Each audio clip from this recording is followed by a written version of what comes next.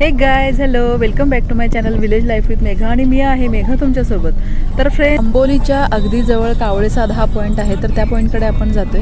हा पॉईंट म्हणजे एका बाजूला सपाट मैदान आणि दुसऱ्या बाजूला दीड ते दोन हजार फूट दरी.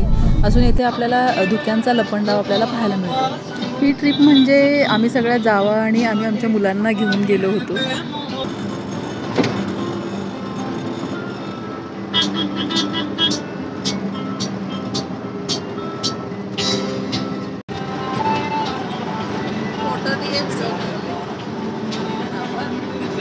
आंबोलीतील धबधबे हिरवीगर्द वनराई जवळच्या चौकुळगावचे निसर्ग सौंदर्य इथे येणाऱ्या पर्यटकांना भुरळ घालतात.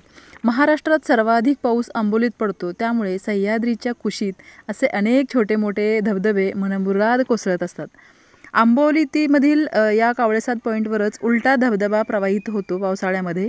तेव्हा तो याची देही याची डोळे पाहण्याचा आनंद जो काही आहे तो काही औरच असतो. पण सध्या पावसाचे प्रमाण कमी झाल्याने हा धबधबा फार काळ पाहायला मिळेनासं झालाय. खोऱ्यातून वाहणाऱ्या वाऱ्यामुळे हा धबधबा उलट्या दिशेने म्हणजेच पाणी वरच्या दिशेने. मेन म्हणजे धुकं नसल्यामुळे अगदी क्लीन अँड क्लिअर दिसते दूर दूरपर्यंत इतक्या सुंदर आल्हाददायक स्वच्छ वातावरणामध्ये आणि अप्रतिम सौंदर्याने नटलेल्या भागात आल्यानंतर फोटो तर असायलाच हवेत नाही का? आम्ही सकाळी लवकर इथे आल्यामुळे एक्का दुक्का पर्यटक सोडले तर आमच्याशिवाय इथे कोणी पाहायला मिळत नव्हतं आम्हाला. त्यामुळे अगदी शांत वातावरण होतं. इथे आमच्याबरोबर विरुद्ध बाजूला जागोजागी म्हणजे धबधब्यांची निशाणी दिसत होती आणि काही एक्का दुक्का धबधबे अगदी कमी पाण्यानिशी वाहताना आम्हाला पाहायला मिळाले.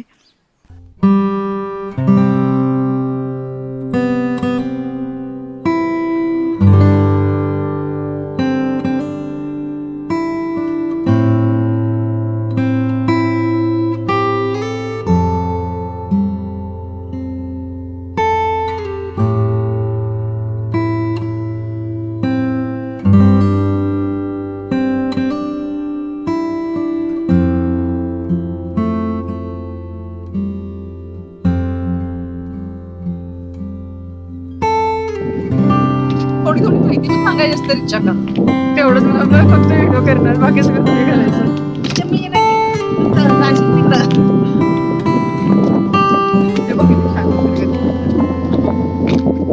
हे निसर्गाचं वर्णन कर. या सुंदर वातावरणामध्ये थोडा वेळ घालवल्यानंतर आम्ही लागलो परतीच्या मार्गाला आणि आम्हाला पुढे जायचं आहे.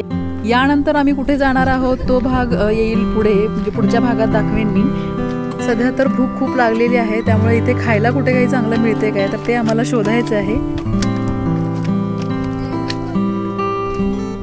चला तर फ्रेंड्स आता आपण आलेलो आहोत. आम्हाला इथे एक प्युअर व्हेज हॉटेल भेटलेलं आहे. साधारणतः कावळेसातपासून एक सात किलोमीटरच्या अंतरा अंतरावर आणि अंबोलीच्या थोडंसं मागे. असं हे अंबोली रेस्टॉरंट आहे. तर चला आता आपण आता जाऊया आतमध्ये. भरपूर मोठा आहे आणि जागा पण भरपूर आहे. एवढं आहे काय?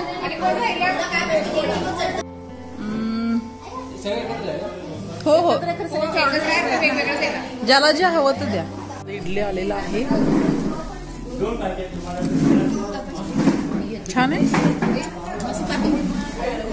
हे कसं आहेत ग पदार्थ सगळ्यांनी आहे ना छान आहे लोणीची पण चव छान आहे चटणी पण छान आहे आणि सांबर पण तुझं तन्वी कसं आहे पदार्थ छान आहे खरंच छान आहे ना जेवण सगळं ज्यांनी ज्यांनी एवढी हा. भूक पण लागली आहे गरमागरम केलंय पण छान बनवलं छान ना त्यांनी इडली कशी झाली सांग आता इडली तू एकटीच घेतलीस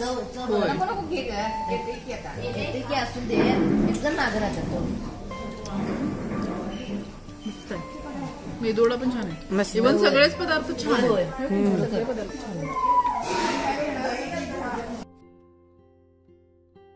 मेन म्हणजे आम्ही या हॉटेलमध्ये येण्याचं कारण की हे हॉटेल पूर म्हणजे प्युअर व्हेज आहे.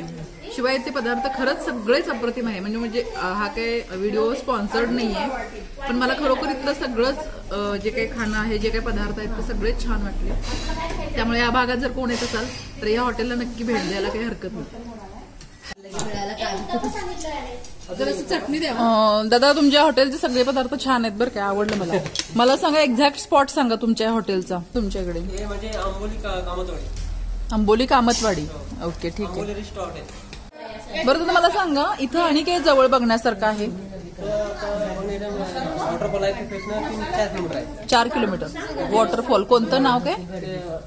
नाव काय त्याचं धबधब्याचं? आंबोली धबधबा आहे. आंबोली धबधब्या सांगताय काय बरं? हा आणि दुसरं काय? दुसरे हे पण ते महादेवगड हिरण्यकेशी आहे ते लांब आहे असं हा, ते ह्याच डॉल्फिन भेटतात ना बघायला?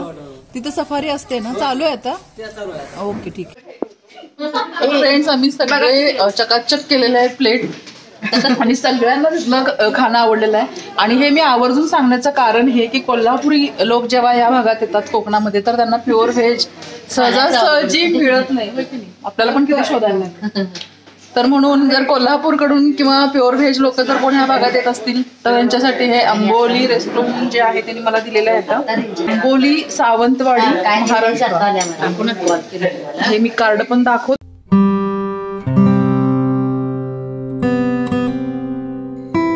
भेटू लवकरच. जर चॅनलवर तुम्ही नवीन आला असाल तर खाली सबस्क्राईबचं जे बटन दिसतं ते प्रेस करा.